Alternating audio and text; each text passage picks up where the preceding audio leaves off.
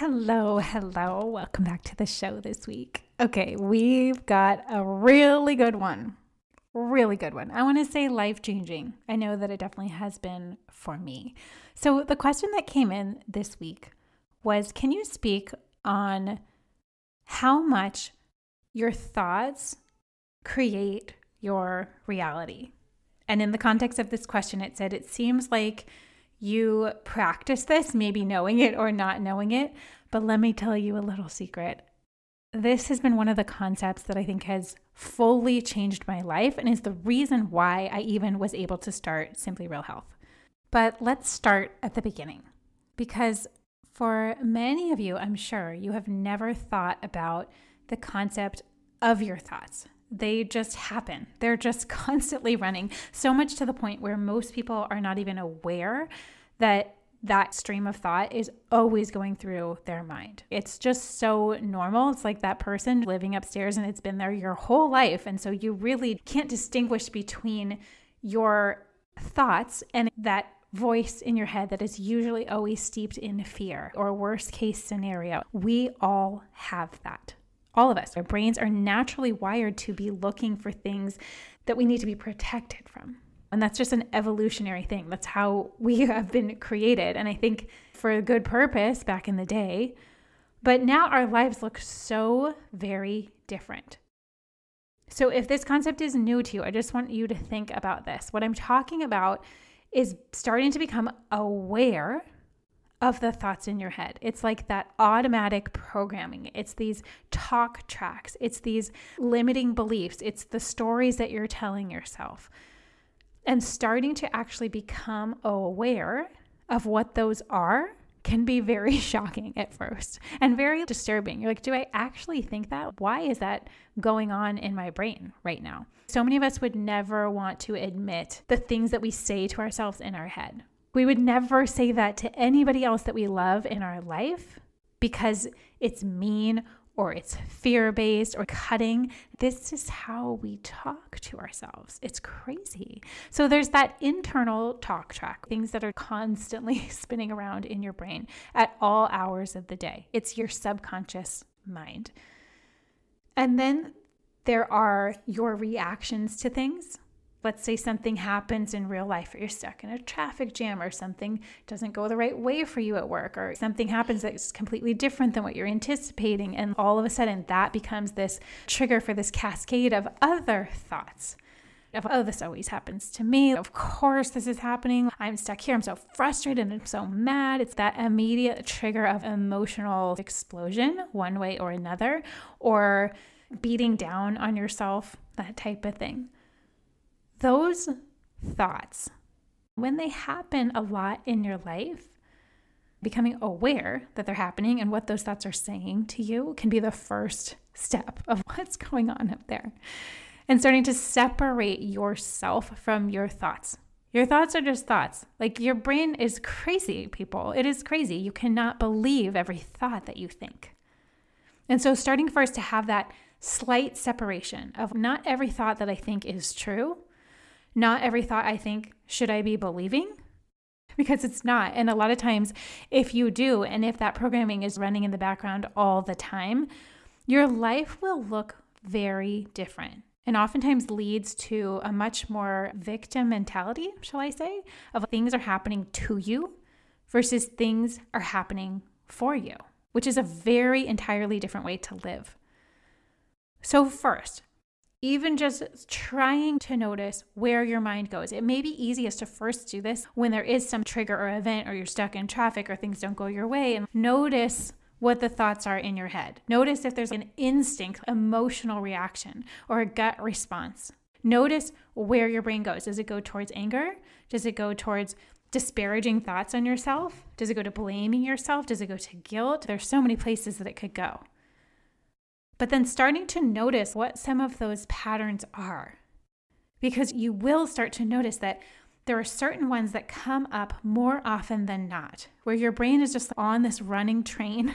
And if something sets it off, it is so far down the track you can't even see it. Because once you can start to notice some of those patterns, it becomes so much easier to start to deconstruct what's really going on. Because, like I said, if you are not allowing this idea that you're believing every thought that you think, and you can separate that your thoughts are different from your heart, different from you. Your brain is there as a protective mechanism, but it's not always speaking truth. And so a lot of times we need to check that. We need to have filters and ways to actually check is that actually true? Is that real? Or is that something I'm making up based on a past experience, based on some beliefs, limiting beliefs most often, based on fear, our brains make us think that it's real. And so, learning that distinction between is that actually 100% true? Is that a fact? Is that what everybody would say? Or am I just making that up? Am I just making up a story around that? Am I making it mean something that maybe it doesn't? So, being aware of your thoughts then gives you this insider glimpse of what you really are telling yourself. And it gives you the chance and the option to audit that and think, I'm going to reach for a higher or different thought here. And this starts so small. This starts in just one tiny daily instance of maybe you're having, I don't know why this is coming to my mind, but like car trouble, you get a flat tire. And instead of being, oh my gosh, of course, this day is going horrible and here's all the things that are going wrong, you could say that's a thought, right? Those are thoughts. I, I, specifically remember having this thought when I was in my early 20s, when I was first starting to learn about this connection between our thoughts having so much power over our life and over our daily experience. So it was like an immediate thought. I had no control over it. It just popped into my head. And of course, that starts the wheels going, and then everything gets all jumbled in my head, and I'm feeling all these feelings about it, and it's taking me to this other place. And I remember thinking, okay, wait a second. That's not the thought that I want to continue to run my day. This is not the vibe I want to have. How do I actually change that? And so I remember sitting there in the car thinking, okay, how could I reach for a better thought? What would be a different way to think about this versus that immediate instinctual reaction that we all have. So then I was like, okay, how could I be thinking about this differently? And you know what I thought of? I'm like, well, maybe you don't know. Maybe there's a reason why I'm stuck here right now because who knows? I don't maybe I would have gotten in an accident had I been there. Maybe there's some sort of reason. Maybe this is a sign from above that's saying chill out. you know, you're so stressed out, you're so on edge. Why is your schedule so packed tightly to begin with that this is the most stressful thing to happen? You know, so like reaching for a better thought okay, could this be happening for a reason? Could I be trusting in the process of this, trusting in this lesson that I need to learn right now, more so than me needing to get to the next place on time? And so there are a million different moments like that in our day where we just have these instinctual automatic thoughts that usually we've let run the show, but that when you're actually able to slow down just even slightly to think, what was that? what was that conversation just in my head? Why was that the first thing that I thought of? You know, and instead of letting that train take off, you're starting to just slow it down, say, okay, what's here? Is there any different direction I want to take this train? Is there is there any other possibility here? And it really makes you reach, right? It really stretches your brain. But then what happens is that over time, your brain naturally reaches for those higher thoughts without you having to stop and struggle and think and get frustrated with yourself that over time and i'm talking like years here that you begin to retrain the workings of your brain. You retrain your perspective. You're able to retrain your mindset. It is so fascinating the study of neuroscience. Literally how our brains are wired and how they fire are based on previous ways they've been wired previous things that have happened and it makes this neural pathway in your brain. So, in order to make new neural pathways to train your brain to be more positive, to be looking for things that are, oh, this is happening for me, that mindset of going through your life like that versus the way that maybe we all are naturally wired fear, panic, anxiety, low level thoughts, limiting beliefs all over the place that stop you before you even start doing something. I think the coolest part here is that we have a choice. We have actually a lot more say in the way that our brains are wired if you want to get there. If you want to be living like that, where things feel a little bit easier, where you feel a little bit more at peace and in the flow, and not everything is so anxiety producing or stressful, or you're running through your day and you're on this hamster wheel and you can't get off. Because those thoughts I think without being edited, really go in the negative direction. And that's just our instinct. It's not that anything is wrong, that's naturally how we're wired. So, this tiny idea is truly something that has changed my life. Slowing down and starting to pay attention of what is going on up there and getting curious, not being judgmental, just being curious. Like, huh, that's interesting. you know, where does that come from? Where did that belief even form?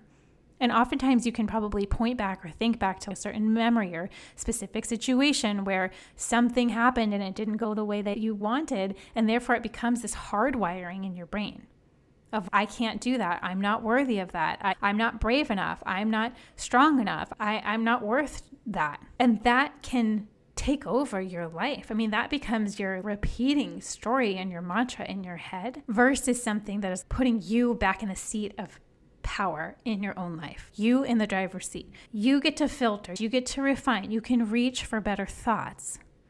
When your thoughts are coming from a higher vibe place, your emotions follow, which impacts everything else.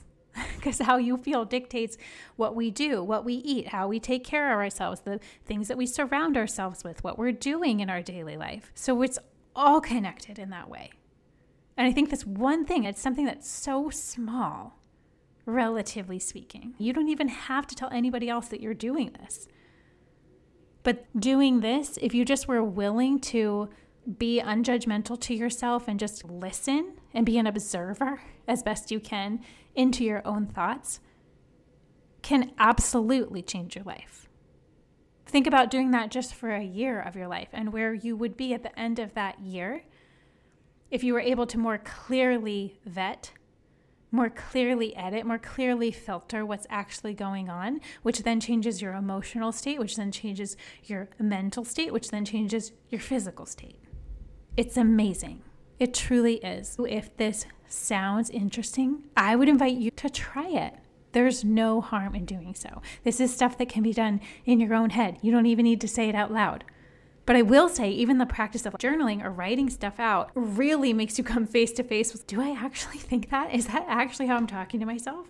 It makes you get real. What is going on? Where did that come from? Is that how I want to choose to believe? Is that the story I want to tell myself? And the power of that can change your life. I hope that this was helpful or encouraging or just gave you a little tiny idea of something to try and practice and see where it takes you. I know that for me, this has been life changing. It has been over the span of decades, but I know and believe that if this was not a practice that I started to think about and try and experiment with in my mid 20s, I would be in a very, very different place than I am right now. And it's not to say that it's perfect. And I have to do this all the time, every day. Every day. I have to be like, what was that? That? You know, and get honest. And right now, it becomes almost funny where I'm like, that was weird because it's so clear and apparent when something like that comes in that's different than my now new normal way of operating and new normal way of thinking. It's almost comical. Or I get excited because I'm like, ooh, this is showing me something that I clearly could put a little bit more time into. Like i could i could uncover some things here that will help like ultimately release me. So if you try this let me know. As with everything and if you have questions about this or if you do try it come over and find me at simply real health on instagram and let me know how it goes. I love you so much and we'll see you back here next week